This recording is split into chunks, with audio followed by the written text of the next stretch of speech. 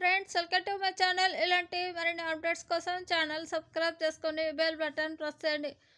Like చేసి share చేయండి. Friends మన ఆంధ్రప్రదేశ్ రాష్ట్ర వ్యాప్తంగా ఎవరైతే రేషన్ కార్డు లబ్ధిదారులు ఉన్నారో వారికి ఈ నెల సెప్ అంటే సెప్టెంబర్ నెలకు సంబంధించి చంద్రన్న కానుకలు అందించబోతున్నారు.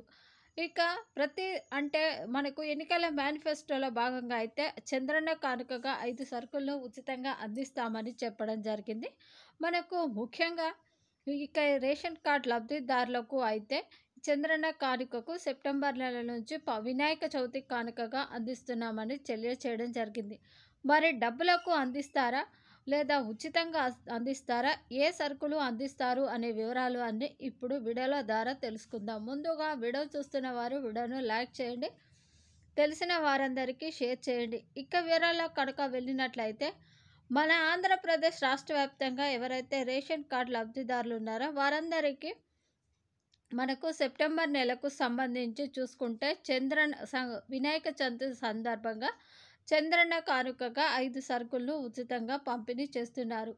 మనకు ఎన్నికల మేనిఫెస్టోలో మనకు ఐదు సరుకులు ప్రతి నెల అందిస్తామని చెప్పడం జరిగింది. కానీ జూన్లోనూ వట్టి రేషనే ఇవ్వడం జరిగింది. ఎలాంటి సరుకులు అందించలేదు. జూలైలో అదే విధంగా అందించారు. ఆగస్టులో అదే విధంగా అందించారు. కాబట్టి సెప్టెంబర్ నెలలో సరుకులు అందిస్తామని చెప్పడం జరిగింది. మనకు రాష్ట్ర వ్యాప్తంగా ముఖ్యంగా మూడు పండుగలు అంటే హిందువులకు సంబంధించి సంక్రాంతి పండుగ అలాగే ముస్లింలకు సంబంధించి రంజాన్ పండుగ క్రిస్టియన్లకు సంబంధించి మనకు క్రిస్టియన్ పండుగ. ఈ మూడు పండుగలకే చంద్రన్న కానుకలకు సంబంధించి ఉచితంగా పంపిణీ చేస్తామని మరి ఏ నెల కూడా ఉచితంగా అందించము డబ్బులు కట్టి తీసుకోవాల్సిందిగా చెప్పడం జరిగింది. ఇక ఈ నెల చూసుకుంటే మనకు ఉచిత పంచదార అలాగే రాగులు జొన్నలు సజ్జలు ఈ గోధుమ పిండి ఇవి అయితే అందిస్తామని చెప్పడం జరిగింది.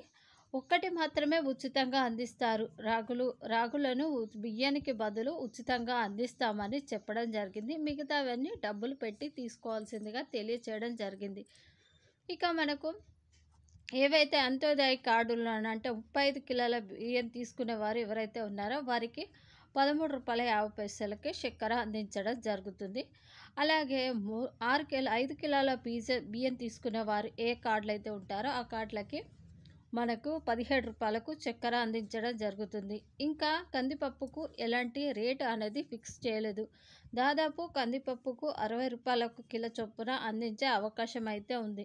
ఇంకా పదిహేడు వందల డెబ్బై రెండు కొత్త రేషన్ షాపులను నిర్మించాలని వాటికి ఆ గ్రీన్ సిగ్నల్ అయితే ఇచ్చింది. కానీ ఇంకా ఎలాంటిది అయితే చేయలేదు. కాబట్టి ఇంకా రెండు మూడు రోజుల్లో రేషన్ అనేది పంపిణీ చేస్తారు కాబట్టి ఇవే సరుకులు అయితే పంపిణీ చేయడం జరుగుతుంది అని చెప్పడం జరిగింది. అలాగే కొత్త రేషన్ కార్డులకు అప్లై చేసుకోవడానికి కూడా అవకాశం కల్పించడం జరుగుతుంది అని తెలియచేయడం జరిగింది